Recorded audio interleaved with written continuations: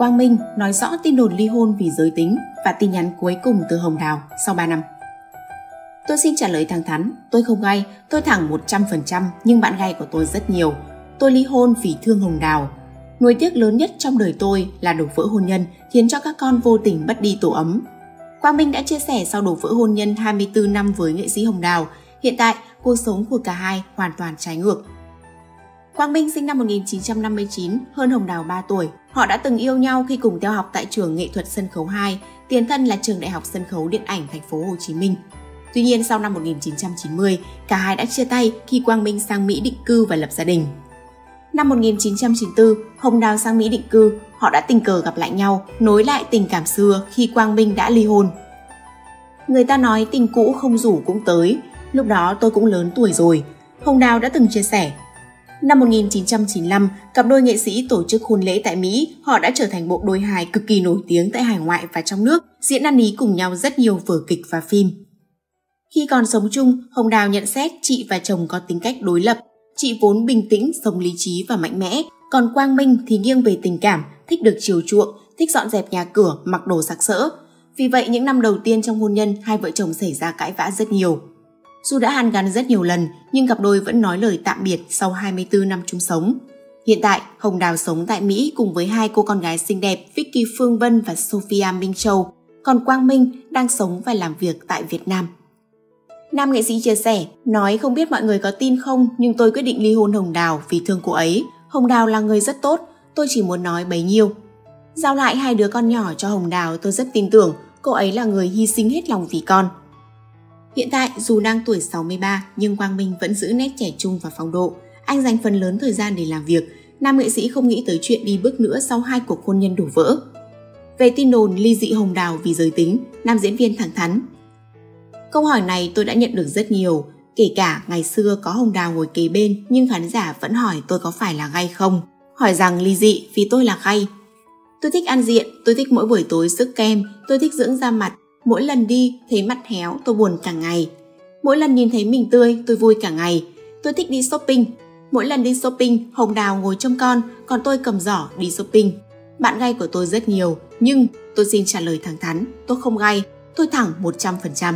Và mình cho biết mình vẫn chưa hết buồn sau 3 năm ly hôn, mọi thứ đã trở thành thói quen, vì vậy anh đành làm việc cật lực để không cảm thấy cô đơn. Từ việc ăn uống, ngủ nghỉ cho đến việc chăm sóc da, anh cố gắng tuân thủ như một cách để tìm niềm vui nhỏ cho mình. Được biết, cả hai hiện tại là bạn bè tốt, hết tình thì còn nghĩa. Thi cử hay công việc của các con, họ đều nhắn tin trao đổi với nhau. Qua Minh xúc động về tin nhắn vợ cũ gửi cho mình. Thời điểm dịch bùng phát đỉnh điểm, Đào đã nhắn cho tôi một tin sau rất nhiều năm chúng tôi ly hôn. Cẩn thận dịch, giữ gìn sức khỏe.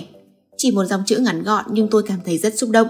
Tôi theo đạo Phật mỗi lần vào chùa, Lời đầu tiên là tôi sẽ cầu nguyện cho Đào và hai đứa con nhỏ được khỏe mạnh. Thỉnh thoảng tôi xem Facebook, thấy Đào có rất nhiều sâu, cuộc sống tích cực tôi lại cảm thấy an lòng. Dù không còn là vợ chồng nhưng chúng tôi vẫn là bạn bè để các con được vui. So với Đào tôi mềm mỏng và tình cảm với các con hơn rất nhiều. Từ nhỏ tới lớn, chúng xin món gì mà mẹ không cho thì chắc chắn sẽ qua năn nỉ bố, kiểu gì bố cũng sẽ đồng ý.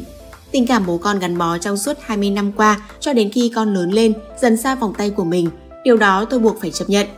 Tôi hay nhắn tin hỏi thăm về cuộc sống của các con, mà bố con vẫn hẹn nhau đi ăn uống mỗi khi có dịp rảnh rỗi. Trong khi đó, Hồng Đào hiện nay nhan sắc ngày càng thăng hạng, cô rực rỡ như gái đôi mươi dù đã bước qua tuổi 60.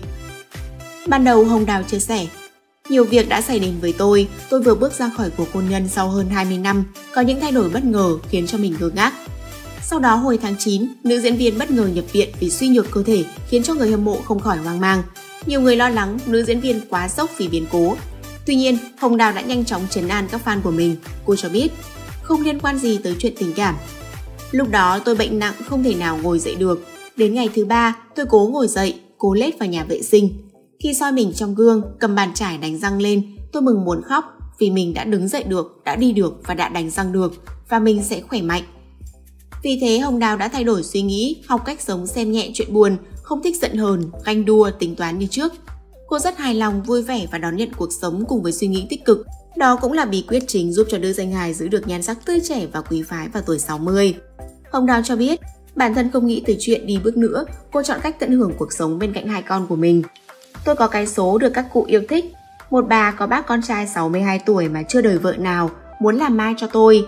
Mà vì bà bác đó cũng sợ con trai mình sống cô đơn. Tuy nhiên cuối cùng tôi phát hiện ra bà bác ấy mê tôi, chứ con trai của bác thì chưa mê, cho nên tôi vẫn cô đơn. Hậu ly hôn, nữ diễn viên tập trung vào làm nghệ thuật tại hải ngoại, đi vi vu du lịch đó đây cùng với các con để tận hưởng. Vợ cũ của Quang Minh rất tự hào khi hai người con Vicky Phương Vân và Sophia Minh Châu rất tài giỏi, xinh đẹp, làm chỗ dựa tinh thần vững chắc cho mẹ. Con gái lớn của họ tên Vicky Phương Vân hiện tại đã 26 tuổi, sinh năm 1996. Sống tại Mỹ đã lâu, Phương Vân sở hữu vẻ đẹp khỏe khoắn, phóng khoáng chuẩn phương Tây. Cô nàng được nhận xét thừa hưởng rất nhiều nét đẹp từ cả bố lẫn mẹ. Với làn da nâu rám nắng, nụ cười tươi rạng rỡ, Vicky Phương Vân hiện tại nhận rất nhiều lời khen từ phía của netizen. Không chỉ xinh đẹp, ai nữ đầu lòng nhà Quang Minh Hồng Đào còn khiến cho nhiều người ngưỡng mộ bởi vì học vấn không phải là dạng vừa. Năm 2019, Phương Vân tốt nghiệp trường đại học UC Santa tại Mỹ, được biết đây là một trong những trường đại học của Hoa Kỳ, công nhận là các trường đại học nghiên cứu hàng đầu Hoa Kỳ. Vốn là người có tính tự lập, Vicky Phương Vân sống riêng từ khi còn đi học. Sau khi nhận bằng cử nhân, cô đi làm xa nhà, chủ yếu liên lạc với bố mẹ qua điện thoại hoặc là đến thăm mẹ vào những dịp nghỉ lễ và cuối tuần. Với vẻ đẹp lai tây cuốn hút cùng với rất nhiều tài lẻ, khán giả đã từng hy vọng Phương Vân sẽ nối nghiệp bố mẹ và tham gia vào showbiz. Tuy nhiên trái lại với kỳ vọng của dân tình, cô nàng không có ý định theo đuổi nghệ thuật, thậm chí còn cực kỳ kín tiếng, không xuất hiện trên mạng xã hội. Sophia Minh Châu, con gái thứ hai của Quang Minh Hồng Đào cũng là một cực phẩm không kém. Nếu như cô chị Phương Vân toát lên sự cá tính năng động thì cô em lại có vẻ đẹp đằm thắm và nhẹ nhàng. Minh Châu hiện tại đã là sinh viên đại học, ngày càng trổ mã và trở thành nàng thiếu nữ xinh đẹp với chiều cao 1m70 nổi trội.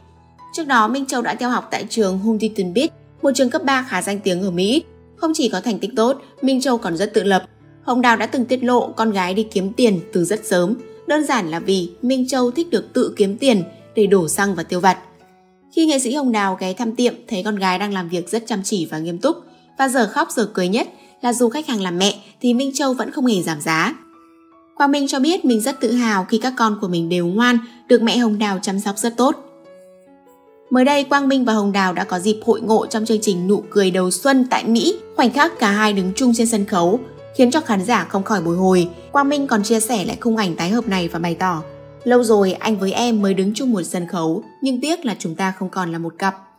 Gặp nhau trên sân khấu, Quang Minh không ngại dành lời khen cho vợ cũ. Cô ấy thật nóng bỏng. Cả hai cùng hỏi thăm sức khỏe của nhau một cách đầy hài hước và thoải mái trò chuyện. Đặc biệt điều khiến cho khán giả chú ý là ánh mắt của Quang Minh khi hướng về vợ cũ. Anh vẫn nhìn Hồng Đào với ánh mắt chiều mến, miệng nở nụ cười. Dường như không còn duyên để cùng nhau đi chung một con đường cho tới già, xong cả hai vẫn xem đối phương là tri kỷ.